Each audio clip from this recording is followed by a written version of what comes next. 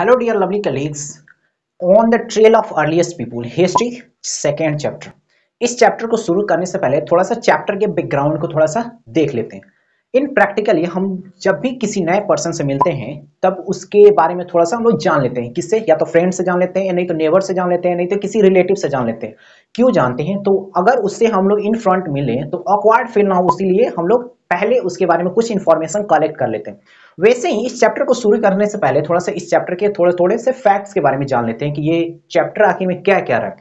तो आइए शुरू करते हैं। पहला है period of stone age period of stone age को तीन भागों में बांटा गया है। पहला पैलियोलिथिक जिसको अर्लीस्ट पीरियड भी कहा जाता है। दूसरा मेसोलिथिक जिसको मिडिल एस्टोन एज भी कहा जाता है या मिडिल एज कहा जाता है। तीसरा है नियोलिथिक जिसको न्यू एस्टोन एज कहा जाता है या न्यू एज भी कहा जाता है, ठीक है? तो ये इसको तीन भागों में बांटा गया। अब आइए इसके पैलियोलिथिक के बारे में थोड़ा सा जान लेते हैं। तो पैलियोलिथिक दो ग्रीक वर्ड से बना है। कितने वर्ड से बना है? दो ग्रीक वर्ड से। पहला पैलियो, जिसका मतलब होता है ओल्ड, और लिथोस मतलब होता है एस्टोन। तो ओल्ड एस्टोन, पैलियोलिथिक्स मतलब ओल्ड एस्टोन। अब इसकी खोज इंडिया में किसके द्वारा की गई थी? तो इसकी खोज ब्रिटिश जियोलॉजिस्ट, ध्यान दीजिएगा आर्कोलॉजिस्ट नहीं, जियोलॉजिस्ट। ब्रिटिश जियोलॉजिस्ट 1884 में, चेन्नई के पल्लेवरम में सबसे पहले इन्होंने पैलियोलिथिक साइट्स के बारे में पता लगाया, जिनका नाम था सर रॉबर्ट ब्रूस फ्रूट्स नाम था। सर रॉबर्ट ब्रूस फ्रूट्स इनका नाम था। कहाँ के थे? तो ब्रिटिश के थे। क्या थे? जियोलॉजिस्ट थे। कब इन्होंने खोज किया था? तो 1884 में खोज किया था। कहाँ खोज किए थे? तो चेन्नई के पल्लेवरम में खोज किए थे। ठीक है? अब इसका टाइम पीरियड को थोड़ा सा हम लोग समझ लेते हैं। पैलियोलिथिक का टाइम पीरियड को थोड़ा सा समझ लेते हैं। ये है दो मिलियन से लेकर बारह हज़ार बीसी तक। मैंने दो मिलियन बीसी से लेकर बारह हज़ार बीसी तक इसका टाइम पीरियड है। किसका टाइम पीरियड है? पैलियोलिथिक का टाइम पीरियड है। अब देखो यहाँ आप, यहाँ देखो यहाँ देखो। दो मिलियन बीसी मतलब बिफोर क्राइस्ट ये जो बात हो रही है, ये एंशियंट एंशियंट हिस्ट्री के बारे में बात हो रही है। ठीक? तो दो मिलियन बीसी से लेके बारह हज़ार बीसी यहाँ के लिखा हुआ है, थोड़ा सा घबराना नहीं है। के मतलब हो गया आपके बारह हज़ार में। तो दो मिलियन बीसी से लेकर बारह हज़ार बीसी तक। अब इसकी खोज की थी, खोज किए थे सर रॉबर्ट ब्रूस फ्रूट्स ने खोज किए थे 1884 में खोज किए थे। और जो ह्यूमन हिस्ट्री का, जो जितने भी इसमें टाइम है ह्यूमन हिस्ट्री का, वो 99 परसेंट इसी पीरियड में देखने को मिलता है। चाहे वो जंगलों से निकल कर केप्स में रहना, या नदियों के किनारे रहना, या टूल्स को बनाना, या पहले शुरू शुरू में जब ये जंगल से निकले थे, कौन? तो अर्लीस्ट पीपुल उस समय ये पैरों और हाथों की मदद से चलते थे। क्योंकि ये शुरू शुरू में पैर और हाथों की मदद से चलते थे।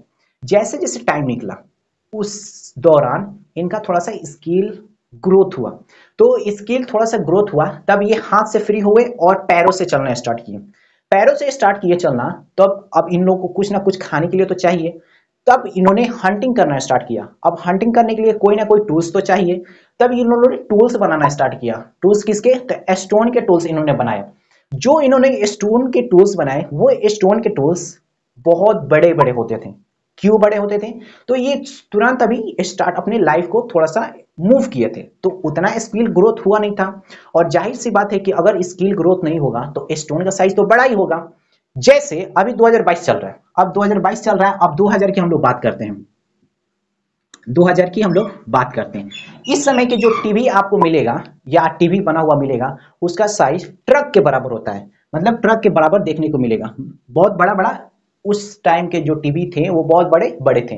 क्यों बड़े थे? जब ह्यूमन ने जब भी किसी चीज़, जब भी कोई भी चीज़ को इनोवेट किया फ़र्स्ट टाइम वो चीज़ बड़ी ही बनी है। क्यों? तो उस समय उतने स्किल ग्रोथ नहीं होते हैं। लेकिन इसी पे अगर जो उसने लगातार काम करता है ह्यूमन तब ये इसके टेक्नोलॉजी स्किल की वजह से इसके टेक्नोलॉजी बहुत छोटे छोटे हो जाते हैं। और वही देखो, आप 2022 में जितने भी टीवी है, उसके साइज़ बड़े हैं, लेकिन वो बहुत पतले पतले आ रहे हैं। क्यों आ रहे हैं? तो लगातार ह्यूमन ने उस पर बहुत ज़्यादा काम किया, बहुत ज़्यादा काम किया। तो काम करेगा तो क्या होगा? स्किल का ग्रोथ होगा। जैसे जैसे स्किल का ग्रोथ होगा वैसे वैसे टेक्नोलॉजी का साइज़ छोटा होगा। वैसे ही जो पैलोलिथिक एज में जो ह्यूमन थे, वो शुरू शुरू में जिस स्टोन का यूज़ किए थे, वो स्टोन का साइज़ बहुत बड़े बड़े होते थे। किसके स्टोन वो स्टोन किसके बने होते थे? क्वार्ट्स के। क्वार्टजाइट के स्टोन वो बने होते थे। किसके बने होते थे? क्वार्टजाइट के बने होते थे। अब ये जो पैलोथिक साइड है पैलोथिक एज है, इसको आइस एज भी बोला जाता है। क्यों आइस एज बोला जाता है? तो आज से 66 मिलियन पहले, आज से आज से 66 मानी छाछठ छाछठ मिलियन पहले इस पृथ्वी पर एक एस्ट्रॉयड आकर टकराया था, जिस समय डायनासोर एग्जिस्ट करते थे। जब जब वो एस्ट्रॉयड हमारी पृथ्वी से टकराया, तब उस समय हमारे पृथ्वी का जो इकोसिस्टम था, वो पूरी तरह से डिस्टर्ब हो गया, या पूरी तरह से डिस्ट्रॉयड हो गया। जब हमारा पृथ्वी का इकोसिस्टम डिस्ट्रॉयड हुआ, उस समय हमारी पृथ्वी का टेम्परेचर धीरे धीरे डिक्रीज करने लगा। जैसे जैसे टेम्परेचर डिक्रीज करने लगा, वो पूरे हमारी पृथ्वी पर बर्फ़ जमने लगा। इसीलिए इस पीरियड को आइस एज भी कहा जाता है ओके